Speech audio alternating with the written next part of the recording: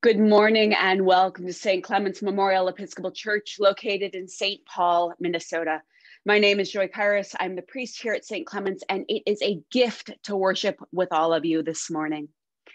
As we continue through our service today, a couple of quick notes. Please know we are recording the service so that it can be posted later on YouTube for those who are unable to be with us this morning. So if you want to avoid the risk of possibly appearing in that worship video, you can simply just keep off your video. Um, it's unlikely given the setup we have for recording, but if it makes you more comfortable, please feel free to simply turn off your video. Also, please stay muted throughout the service, except for those places where it indicates otherwise. It'll be very clear. We have congregants who are speaking on behalf of all of us, so pray along and speak along with them, but do so while muted. Today, parishioners Ron Brand and Gail Lundeen Brand will represent our entire community as the voices of the people. So if you are new to St. Clement's visiting or just need a reminder of who we are, let's begin with a statement of what we value as a community.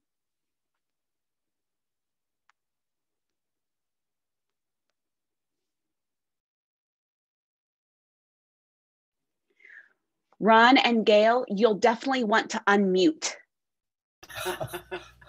well, we. You're unmuted. Okay. Okay, here we go. This is God's table. All are welcome, all are needed. Our presence, our stories, our true selves are welcome here. We see each other with a grateful and open heart. Together, we're the body of Christ. Blessed be God, Father, Son, and Holy Spirit. And blessed be God's kingdom, now, now and, and forever. forever. Almighty God, to you all hearts are open, all desires known, and from you no secrets are hid. Cleanse the thoughts of our hearts by the inspiration of your Holy Spirit, that we may perfectly love you and worthily magnify your holy name through Christ our Lord. Amen. Today's Gloria is S280 as found in your hymnal and also as it will appear on the screen in front of you.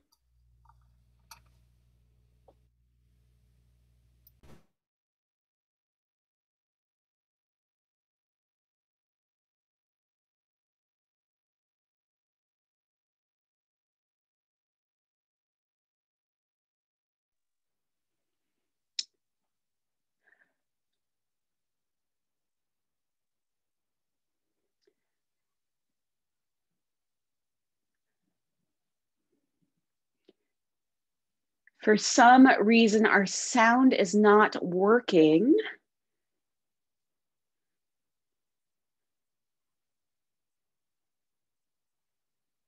Just one moment, I'll check to see. I did check the checkbox, but the player was muted. So give me half second and we'll be back in business.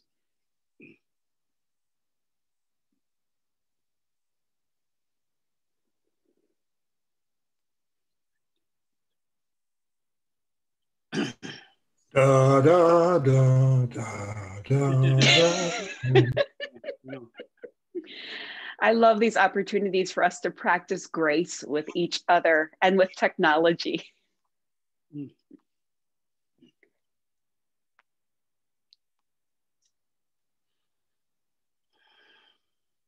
Hang on. For some reason, the player is muting itself, and I don't know why it's doing that. There it is. Okay let us pretend that this is now working and we'll continue from here, everyone. My apologies.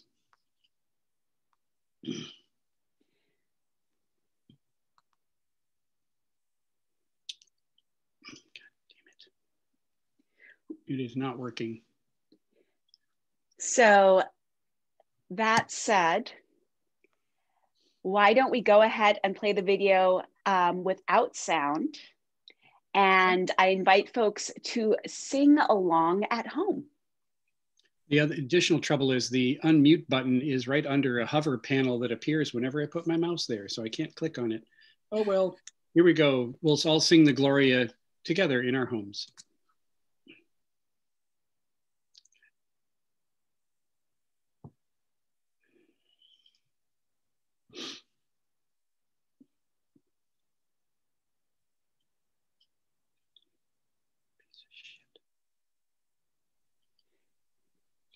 Hey, Mark, Yes. your muttering's audible. Okay. I'm sorry. It's That's okay. I know it's frustrating. So let's go ahead and continue with the collect of the day.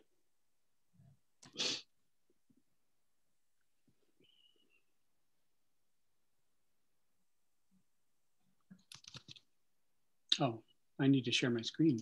Sorry about that. That's okay. Nothing like technology to throw you.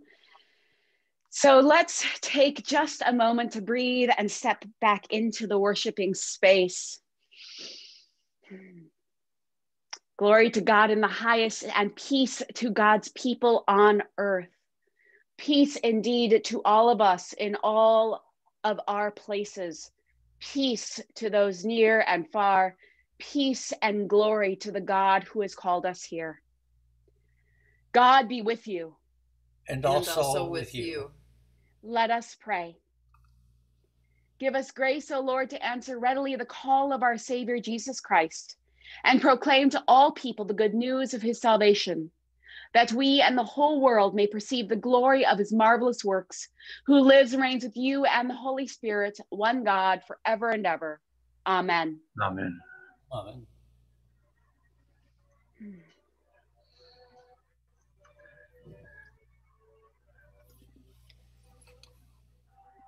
The first reading lesson, today is read by Micah. from Jonah 3 1 through 5 and verse 10. The word of the Lord came to Jonah a second time, saying, Get up, go to Nineveh, that great city, and proclaim to it the message that I tell you. So Jonah set out and went to Nineveh, according to the word of the Lord. Now, Nineveh was an exceedingly large city, a three days' walk across. Jonah began to go into the city, going a day's walk. And he cried out, Forty days more, and Nineveh shall be overthrown. And the people of Nineveh believed God. They proclaimed a fast, and everyone, great and small, put on sackcloth. When God saw what they did, how they turned from their evil ways, God changed his mind about the calamity that he had said he would bring upon them, and he did not do it. The word of the Lord.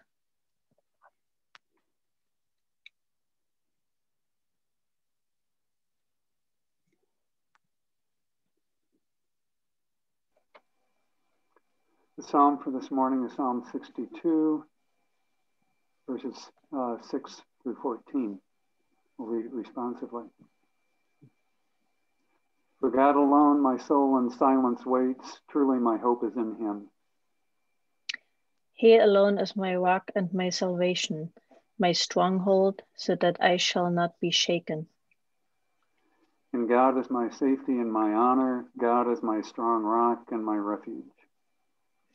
Put your trust in him always, O people. Pour your hearts before him, for God is our refuge.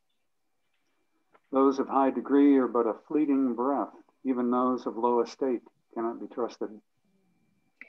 On the scales they are lighter than a breath, all of them together. Put no trust in extortion. In robbery, take no empty pride. Though wealth increase, set not your heart upon it. God has spoken once, twice have I heard it, that power belongs to God. Steadfast love is yours, O Lord, for you repay everyone according to his deeds.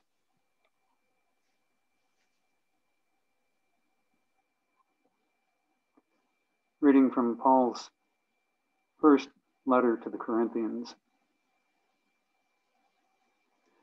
I mean, brothers and sisters, the appointed time has grown short. From now on, let even those who have wives be as though they had none, and those who mourn as though they were not mourning, and those who rejoice as though they were not rejoicing, and those who buy as though they had no possessions, and those who deal with the world as though they had no dealings with it. For the present form of this world is passing away. The word of the Lord. Thanks, be to God. Our sequence hymn today is hymn number 440, led by choral fellow Rachel Farhi. We'll be singing verses one and two.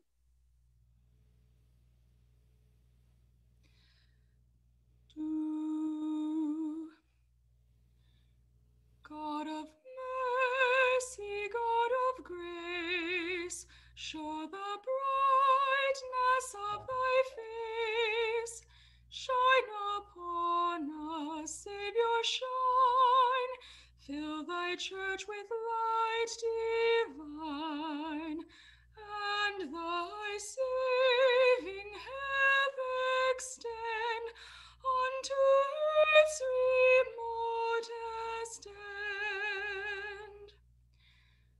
Let thy people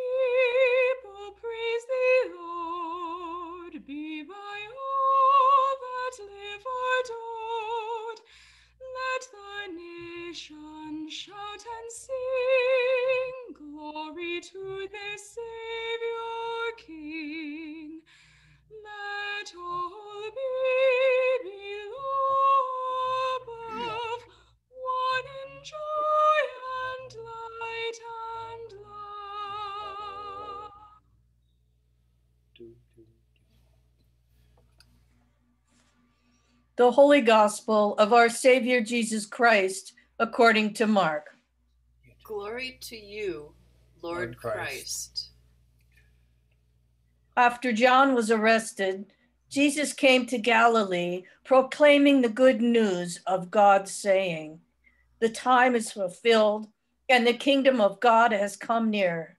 Repent and believe in the good news. As Jesus passed along the Sea of Galilee, he saw Simon and his brother Andrew casting a net into the sea, for they were fishermen. And Jesus said to them, Follow me, and I will make you fish for people.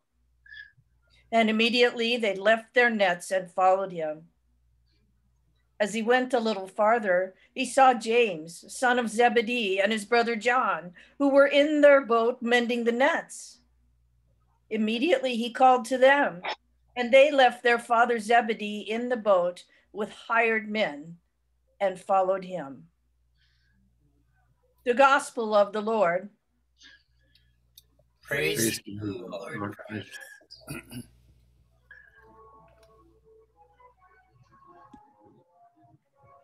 Lord, open my lips so that my mouth may proclaim your praise. Amen.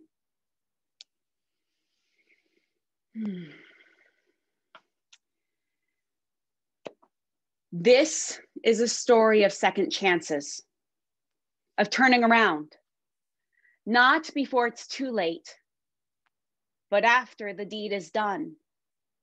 It's a story about us. It's a story about God's call to us, not to perfect people in no need of redemption, but to imperfect ones. Imperfect people who have screwed up, who have screwed up time and time again until now, until today. We repent of the evil that enslaves us, the evil we have done, the evil done on our behalf. When we say those words, we do so collectively. We say them together, but it is the individual mouth of the confessor that puts breath into air and forms a public witness. Breath into air, like the breath upon the water, new life born of a commitment to repentance. Because this is a story of second chances. This is a story of opportunity and invitation. The story of Jonah, who dwelled in the darkness of a whale, a symbolic leviathan, mythic in nature with the power to engulf one of us, yet created and subject to the creator. Jonah, who was unwilling to intervene on behalf of Nineveh, but who, in the storm, spoke up as a willing sacrifice on behalf of those who sailed the ship. The ship that he had hoped would allow him to flee from God's call. A ship taking him so far and yet so close to God because he had sought a distance that God alone could span, being cast into a symbolic death, a death that found its meaning within the context of God's call. Jonah's new life found its meaning in the unrelenting presence of the divine, of God, who calls again and again, God, who calls us as partners, collaborators, and co creators in the redemption and salvation of God's people. God partners with Jonah. God partners with us, calling us to intervene on behalf of God's people. God's people, our siblings and friends, our neighbors and strangers, our children and our elders. And so, at last, but just in time, Jonah speaks. It was not too late. It is never too late to repent, to turn back, to say unto God, we repent of the evil that enslaves us, the evil we have done, and the evil done on our behalf. It is never too late to turn, to turn from death and into new life. Now, if we were a tradition that invited altar calls, this would be the time. I would invite you to consider God's call to you and to present yourself at the altar as an offering, to present yourselves vulnerable unto the Lord and to commit publicly to a new life. And if we were in person, together in the pews, you'd be squirming wondering if I might just do that, might just ask for your personal public witness. You'd wonder, will she dare? Do I? Do I dare?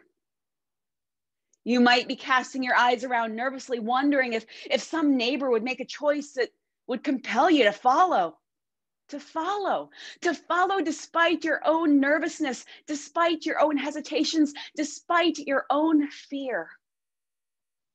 To follow and make a public commitment from which there will be no turning back.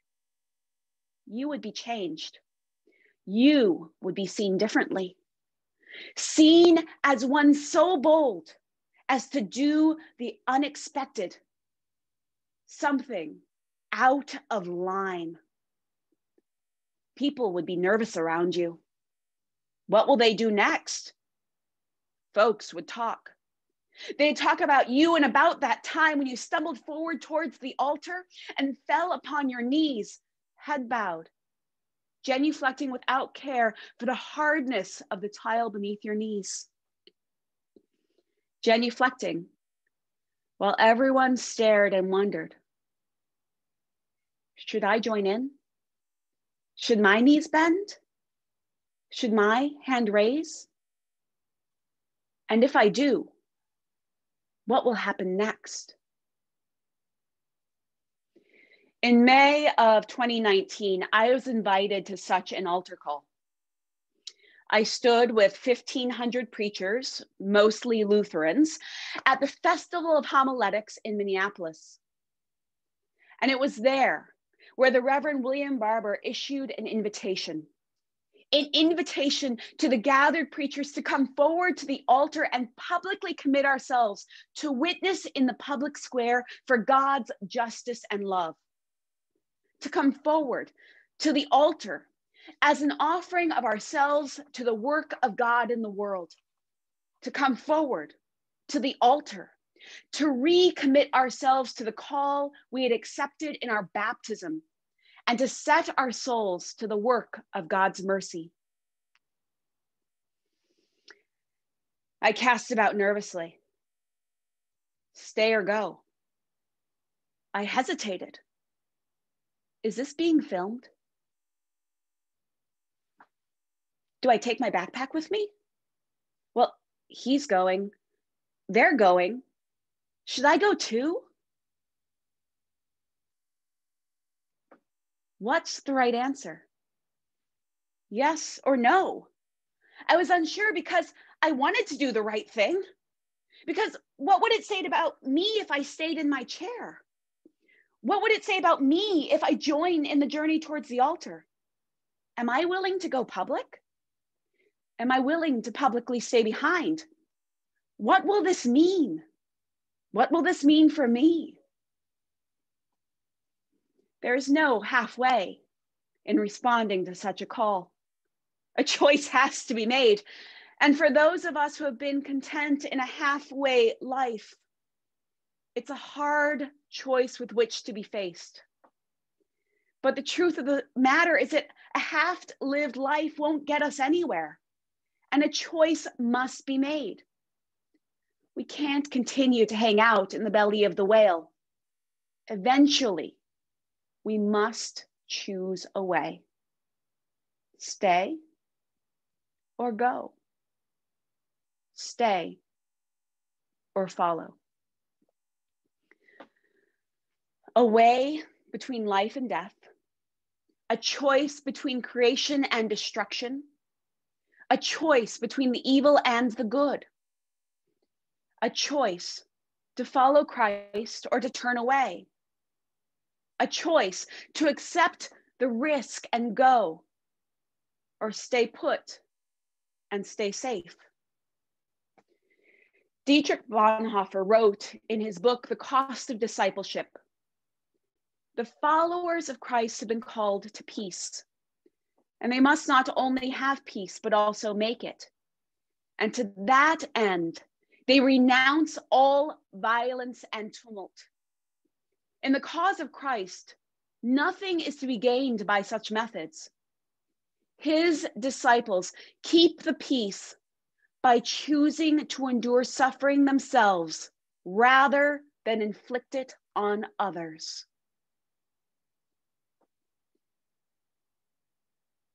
Jonah chose to be cast overboard rather than see the sailors destroyed. To endure suffering rather than to inflict it on others. That is the unimaginable truth, isn't it? That Christ would rather endure suffering than inflict it on others. That God, that God would accept the pain of the cross and our betrayal, and even then, even then, forgive. What wondrous love is this, O oh my soul, O oh my soul? What wondrous love is this, O oh my soul? To suffer rather than to inflict suffering upon another. It strikes me that this idea that of accepting suffering in order to avoid harming another is wildly countercultural. It would have been countercultural then, and it is most certainly countercultural now. Countercultural because suffering is so often understood to be a logical or natural consequence of some moral ineptitude when we see suffering in the world, we tend to cast about for blame, as if the sick, the poor, and the oppressed are somehow at fault for their affliction. We blame the poor for being poor. We shame the hungry for being hungry. We diagnose the sick with moral failings. They brought it on themselves. We sigh and shake our heads. They brought it on themselves. And then we turn and walk away because they have been suitably punished. Self righteousness and vindictiveness in the face of need. It is, to America's shame. Not all that long ago, a man posted a play by play on social media of his child asking for food. Food that he refused to give until the child figured out on her own how to work a can opener. He offered no support or guidance. He did not teach his child how to use a can opener. Instead, he publicly shamed his child for their hunger and for their need. Bean Dad, as he became known on Twitter, did not see fault in his actions, and he was put to task. Who, when their child asks for a piece of bread, would give them a snake instead? One said. But how is that any different from what we as a country do when we refuse to create structures that will provide the kind of support that the most vulnerable people in our communities need in order to open their own metaphorical can of beans? Shame instead of help, dismissal instead of teaching, a snake instead of bread.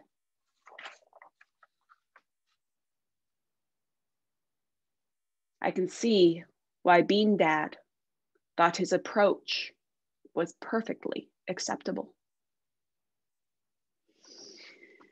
Meanwhile, here we are in the churches arguing about whether or not it's too political to say that Black Lives Matter or that everyone should have access to quality health care whether or not it's too political to advocate for safe and affordable childcare, whether or not it's too political to say that yes, there needs to be police reform, and yes, we need to eliminate gun violence. Is it too political to follow Christ? Is it too political to observe the Ten Commandments?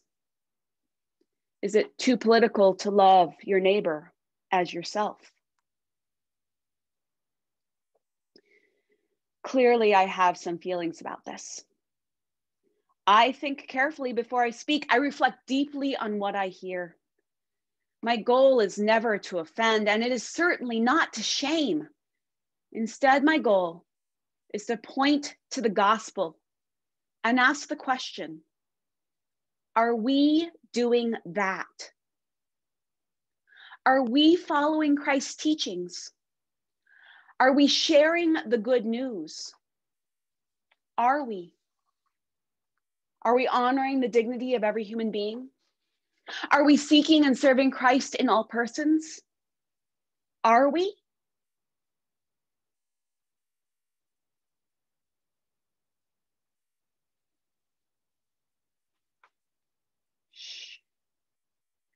Before you answer that, before you go down some shame spiral of inadequacy, know that I see you. I see you striving to be good people in this world. I see you trying so hard to do what Christ would have you do. I see you showing up even when it's uncomfortable. I see you wanting to do the right thing, even when none of us are quite sure what the right thing is. Left, right, in between. I see how you care for each other. I see how you yearn to be cared for. You confess. You are absolved. You try again. And here we are. Here we are at last, but none too soon, too late, but just in time. Here we are. And in just a few moments, our service will continue with an altar call. An Episcopalian, heavy on the words, steeped in tradition, stay in place kind of altar call. The renewal of our baptismal vows. We have been using these vows since the feast of the baptism of Christ as a reminder of what we have committed ourselves to, as a way of publicly answering God's call to us, as a means of setting ourselves back upon the way of love, the way of Christ, a way that has the power to transform the world entire if we are willing to take the risk of following. So, how about it, dear ones? Shall we try again?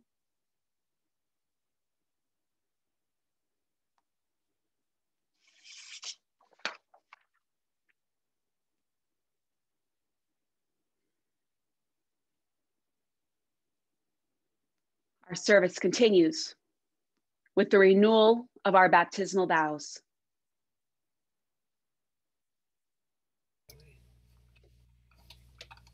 Do you reaffirm your renunciation of evil and renew your commitment to Jesus Christ? I do. I do. Do you believe in God the Father? I believe in God, the Father Almighty, creator of heaven and earth. Do you believe in Jesus Christ, the Son of God? I believe in Jesus Christ, his only Son, our Lord, He was conceived by the power of the Holy Spirit and born of the Virgin Mary. He suffered under Pontius Pilate, was crucified, died, and was buried. He He descended into the dead. On the third day he arose again. Once again, He he ascended ascended into heaven, and and is is seated seated at at the the right right hand of the Father. He will come again to judge the living and the dead. Do you believe in God the Holy Spirit? I believe in the Holy Spirit, the The Holy Catholic Church, the communion of saints, the forgiveness of sins, the resurrection of the body, and life everlasting. Will you continue in the apostles' teaching and fellowship, in the breaking of bread, and in the prayers? I I will, will with God's help, Will you persevere in resisting evil? And whenever you fall into sin, repent and return to the Lord. we I will with God's help. Will you proclaim by word and example the good news of God in Christ?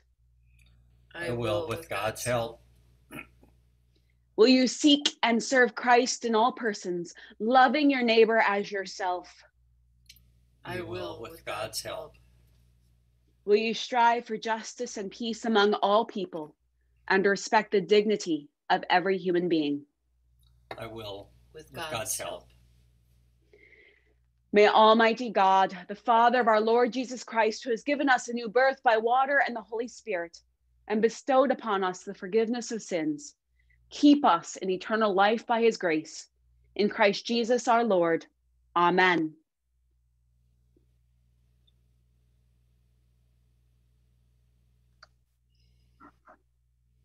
Let us hear the call of Scripture to the mission of all the baptized.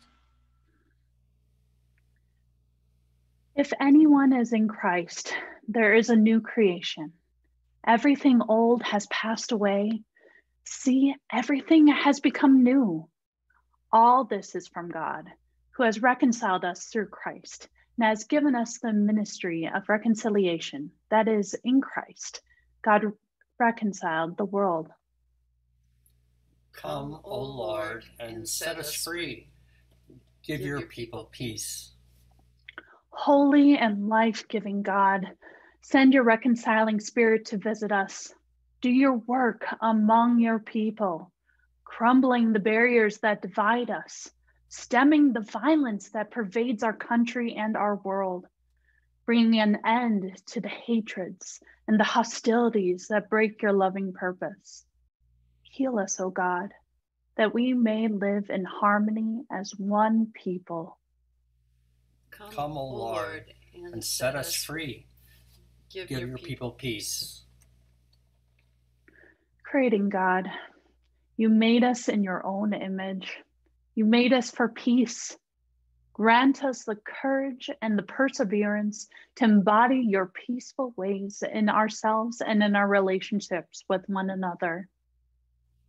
Come, O Lord, and set us free. Give your people peace. Mothering God, you gather the suffering in your loving embrace. Come and dwell with those who have lost loved ones to violence and disease. Comfort us in every affliction. With tenderness, console those who mourn and comfort those in despair. In your compassion and mercy, heal us and restore us to fullness of life. Come, O Lord, and set us free. Give your people peace. Discerning God, you know our hearts, and from you no secrets are hidden. You know the impulse to anger that lies within us and the urge to strike out. Lead us away from anger towards a deeper love. Come, O Lord, and set us free. Give your people peace. God of our redemption, our cities, our streets, and our institutions have become places of violence.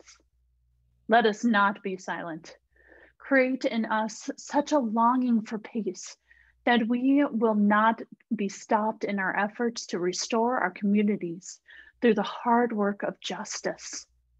Make us bold in your service to you, O Lord. Come, O Lord, and set us free. Give your people peace. Loving God, you love every person that you have made and call us to do the same. Give us ministering hearts and healing hands.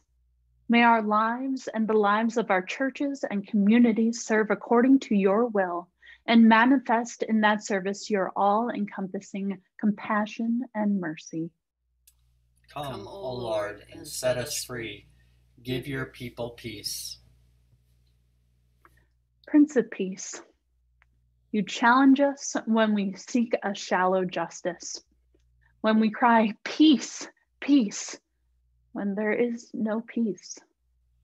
Give courage to those who seek your purposes, who challenge and address the truth of our violent ways. Uphold us in our work by your grace, that we may be known as people of peace, as lovers of justice. Come, Come, O Lord, and set us free. Give your people peace. O Lord our God, accept the fervent prayers of your people. In the multitude of your mercies, look with compassion upon us and all who turn to you for help. For you are gracious, O lover of souls, and to you we give glory. Father, Son, and Holy Spirit, now and forever. Amen. Let us confess our sins to God. God of all mercy, we, we confess, confess that, that we have sinned against you, opposing your will in our lives. We have, have denied your goodness in each other, in ourselves, and in the world you have created. We repent of the evil that enslaves us, the evil we have done, and the evil done on our behalf forgive, restore, and strengthen us through our Savior Jesus Christ, that we may be abide in your love and serve only your will. Amen. Almighty God, have mercy on you, forgive you all your sins through the grace of Jesus Christ, strengthen you in all goodness, and by the power of the Holy Spirit, keep you in eternal life. Amen. And now may the peace of the Lord be always with you. And also with you. Peace, friends. Peace, everybody. So good to see so many folks. Jan, Phil, Bob, Bob, Bob, Bob, Margot, Dan, Tracy, Roberta, Steve, so many good people. Frank, Alyssa. Such a gift. Wow. Such a gift you all are to each other, to me, to this community. I am so glad you're here. Now, in just a moment, um, hopefully we'll have a chance to hear an offertory anthem. we'll see what happens there. But you know, it is it is such an opportunity to show up in our imperfection and in fullness of self and to fully experience what it is to be part of this messy, beautiful, so human thing we call showing up anyway. so, thank you for showing up anyway and regardless and with great love for each other and for the church and for our call to be Christians in the world. So, um, trusting the offertory anthem works. I'll offer an offertory sentence. If you'd like to give financially online, you can do so at stcstp.org. There's a give now option. Um, and if finances are hard right now, know that just showing up in this space is a gift.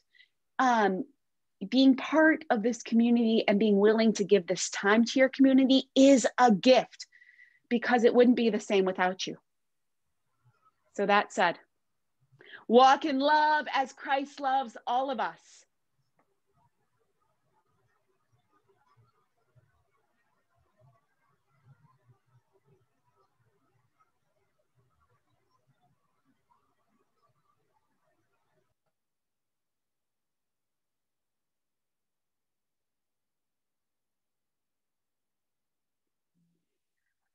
Mark, would you like Guess me what? to take that as a solo? Uh, yeah, please, if you would. Um, oh, good grief. Anyway, I did my did my darndest. Hang on, just one second. I don't know We'll why. give it one more try before we. There we continue on. Okay.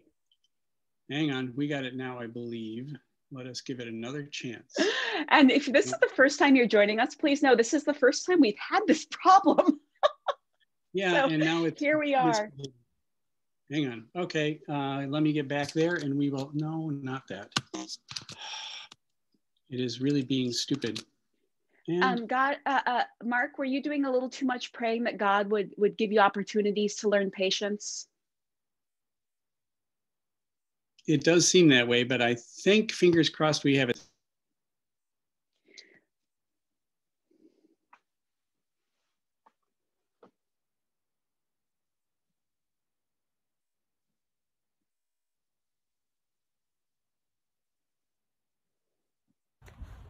Hmm.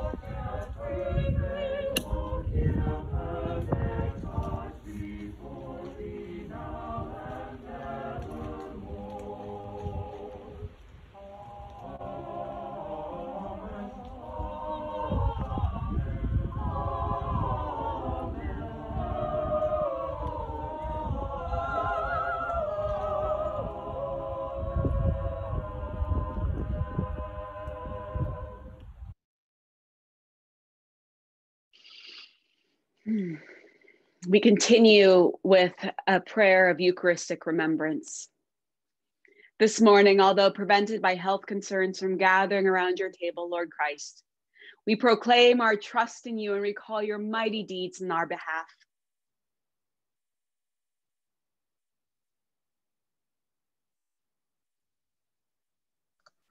Dying, you destroyed our death.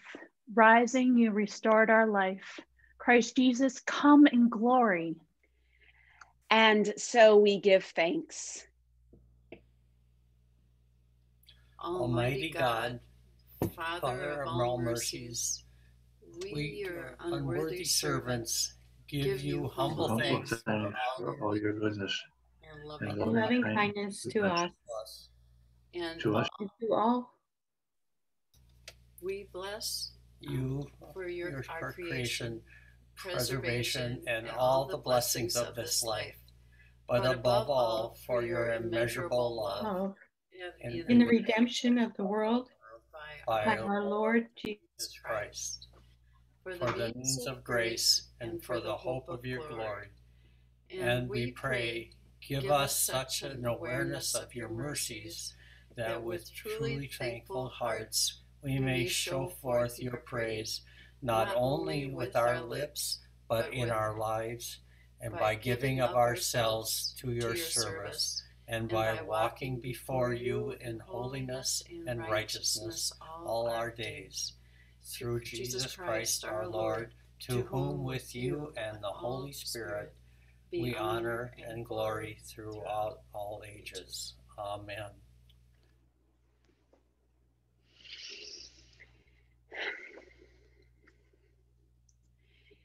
May God give you the grace never to sell yourself short, grace to risk something big for something good, and grace to remember the world is now too dangerous for anything but the truth and too small for anything but love.